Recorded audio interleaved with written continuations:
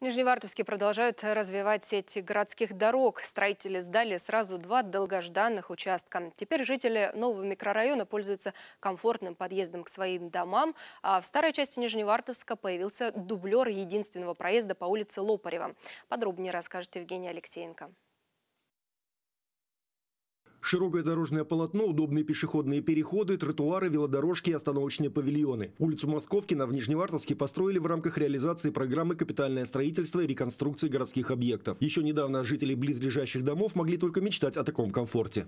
Если кто-то э, увидел бы, как что было и что есть, это разница большая. Ну, очень красиво. Ну, правда, еще зелени нету, но она будет. Ну, дети, есть где кататься детям, здесь есть скамеечки, где отдохнуть. Благодать. Строители позаботились о комфорте людей и в вечернее время. По всей улице смонтировано современное освещение. Для отвода дождевых и талых вод проложили ливневую канализацию. Весной на газонах взойдет многотравие. Я сам живу в этом микрорайоне, я знаю это не просто понаслышке, а действительно понимаю, как эта дорога важна и необходима для жителей э, этих микрорайонов.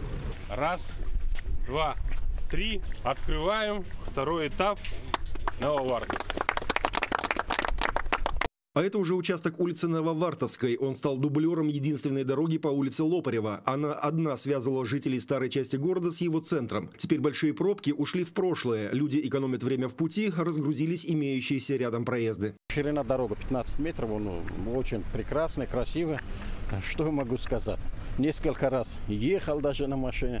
Идеально пока. Пока по новым улицам открыли движение для частного транспорта. Сейчас власти разрабатывают схему, чтобы жители могли воспользоваться и общественным транспортом. С учетом, во-первых, и новых вот сегодняшних улиц, которые мы открыли, естественно, будет пересмотрено и в том числе э, соответствующие маршруты э, общественного транспорта.